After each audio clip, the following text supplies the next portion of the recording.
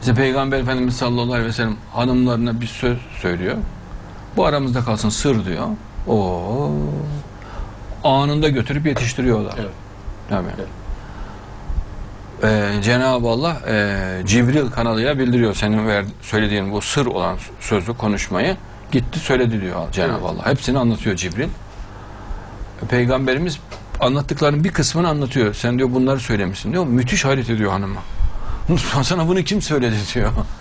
Yani bak yine bu da hast- hastalık işte. Evet. Bu da bir hastalık işte. Yani halbuki tam muttaki bir mümin bunu sorar mı peygambere?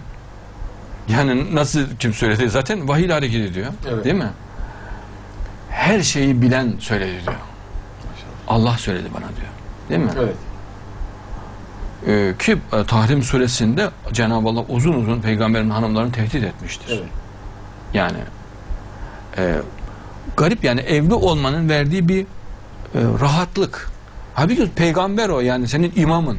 Yani evli olman neyi değiştirir? Değişti. Yani bir sana özel bir statü meydana getirmez ki. Bilakis daha saygılı, daha titiz olmanı gerektirir. Evet. hocam. Değil mi? Evet. İnşallah.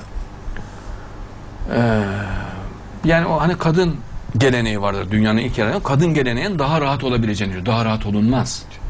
Daha saygılı olması gerekiyordu. İnşallah. Daha itaatkar, daha bağlı olması gerekiyordu.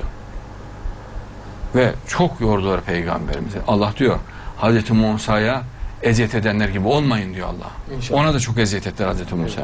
Yani psikolojik baskı yapıyorlar. Ya peygamber zaten gözler önünde yani. Zaten fitneye açık. Zaten münafıkların malzeme aradığı bir ortam var.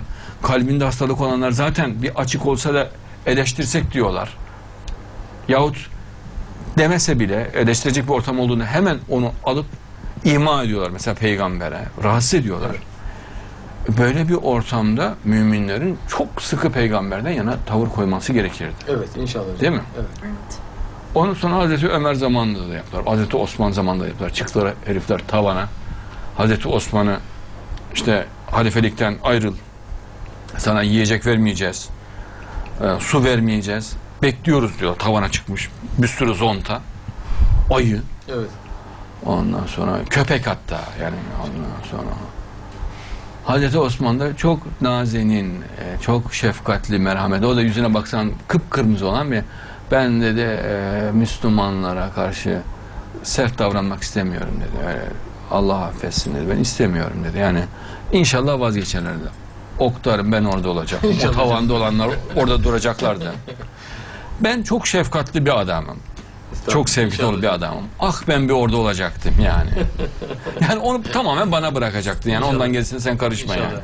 İnşallah. Bak karınca ezmem ben. Estağfurullah inşallah hocam. Ama onu da sen bana bırakacaktın. Evet. Yani orada o Hazreti Osman'ı tehdit etmek ne demekmiş? Çok güzel ikna ederdim ben onları orada. Zaten siz olsaydınız da öyle çıkamazlardı Allah'ın izniyle. Ha, bir kere oraya çıkamazlardı yani. İnşallah. İnşallah. İnşallah.